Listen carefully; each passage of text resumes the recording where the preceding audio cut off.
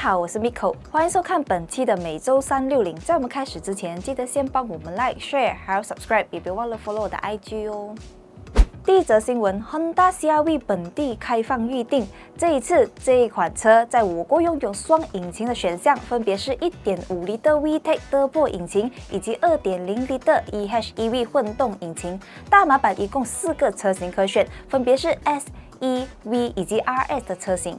这一次新一代的 CR-V 主打的依然是出色的空间，虽然本地没有七人座的车型，不过它的尾箱空间有五百八十六升。如果放到第二排的话，空间达到惊人的一千零七十二升，是同级中最大的。另外配备可以说是给好给满，新车给到你同级少见的八个 airbags，同时全车系标配 Honda Sensing 先进主动的安全配备，而且大家期待已久的三六零全景影像功能，这一次也能在这一款车上看到了。加上还有十二个 Boss 高级音响，整体来说你想要的它都有，相信可以满足大部分的消费者需求了。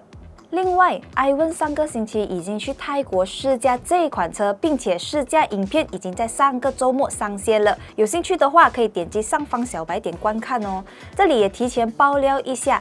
据悉新车将会在十二月发布，不过具体是哪一天，我们就暂时不知道。不过老规矩，订阅我们的频道，新车发布过后，我们也将为大家带来更详细的介绍影片。还有，如果大家想看我试驾的话，欢迎在下方留言给我知道哦。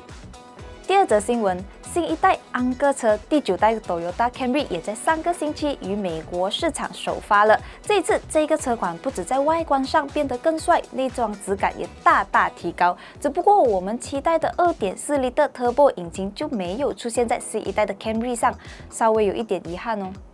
虽然说是新一代的车型，不过第九代的 Camry 依然是基于和上一代 Camry 一样的 TNGA GAK 平台打造，只不过原厂表示他们对悬吊进行重新调教，因此这款车的操控表现会比上一代更加出色。不过口说无凭，实际到底强了多少，只能等我们有机会试驾才能告诉大家哦。不过可以确定的是，这一次这个车款一点都不安个，因为它采用了更年轻化的外观设计。虽然我很喜欢，但是好不好看就见仁见智啦。你们觉得呢？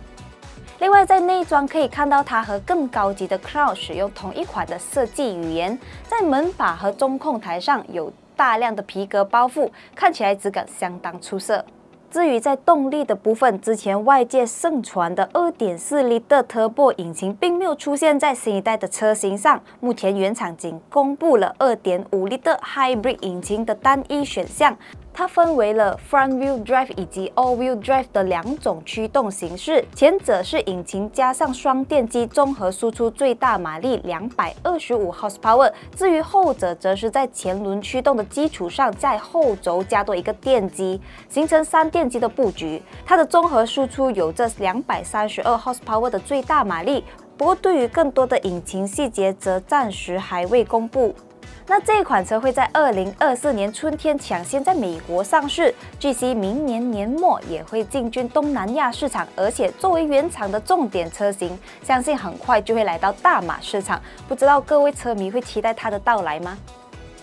来到我们的第三则新闻。广汽传祺影速现身大马，或已经开始在本地试产。上个星期我们才上传了 iOne 在中国简短体验 GS 三影速的影片，如果你还没有看的话，可以点击上方小白点重温哦。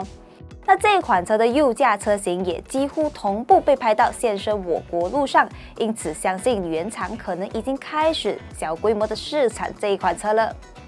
这款车的定位是一台 B segment 的 SUV，而它在本地的对手就是 b r o t o n X50、Honda HR-V 以及 Cherry Omada 5同级车款。那它主要的卖点除了机甲风的外观之外，它搭载的是一具 1.5L 的 TGDI 涡轮增压引擎，重点是它是四缸引擎，而且它拥有最大马力表现174 horsepower，峰值扭力表现270牛米的，零至一百的官方加速成绩是7点五秒，这个成绩比其他的几个同级对手毫不逊色。另外，据悉这款车的预计售价将从一百一十千起跳。以这个价格来说，这款车在市场上是相当有竞争力的。加上它在中国出色的销售表现，因此它的到来我相信会为这个级别的车款带来一番龙争虎斗，也让我们更期待它到底能不能延续在中国市场热销的这个势头。你觉得它有没有能力从 X 五十和 HRV 手中抢走他们的市场呢？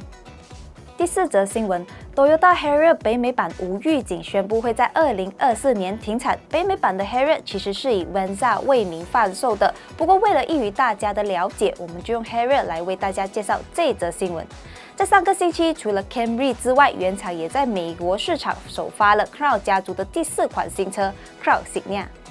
这款车的定位是中型的 SUV，并且它主打的是能够完美的符合用户户外需求的一款车。而因为这款车的加入，让原厂在北美市场的 SUV 阵容过于臃肿，因此迫于无奈，他们就选择停售在当地仅卖了四年的 Harrier。目前还拥有出色销售成绩的 Harrier 让路给更新的 Crown Signia。不过，虽然北美会停产这一款车，但是因为 Harrier 多年在亚洲市场积累下的口碑以及历史地位，因此原厂并没有打算在亚洲市场停售这一款车，它依旧会在日本以及其他亚洲地区销售。所以大家不必担心，各位喜欢这款车的朋友，在未来还是可以在我国买得到它的。来到我们的第五则新闻，Stellantis 东门地区高层确定，明年 Puget 多款新车会登陆大马市场，其中包括了 Peugeot 408以及纯电动的 B segment SUV E 2008。根据 Puget 母公司 Stellantis 东门地区 COO 透露的消息，明年他们会在我国孤润的工厂带来三款 CKD 本地组装的重量级车型。其中一款是目前从中国 CPU 整装进口到我国贩售的 Pickup Truck Land Track，确定以 CKD 的形式登场哦。同时也有可能以 CPU 整装进口的形式导入一些新车。另外，他也确认了之前多次在本地测试的 Peugeot 408将会在明年来到大马市场。虽然他没有提及是以 CKD 或是 CBU 的形式贩售，但是据他们所说，他们打算尽可能的利用酷润工厂的产能，因此相信这款车以 CKD 的形式登陆我国的可能性是比较大的。另外，之前有在我国展出的 E2008 已经确认明年在我国正式发布。那不知道各位比较期待哪一款的 Pugeot 新车来到我国呢？欢迎留言和我们分享哦。好了，以上就是本期的重点新闻。喜欢的话，记得帮我们 Like、Share 还有 Subscribe，也别忘了 Follow 我的 IG 哦。我们下一期再见，拜拜。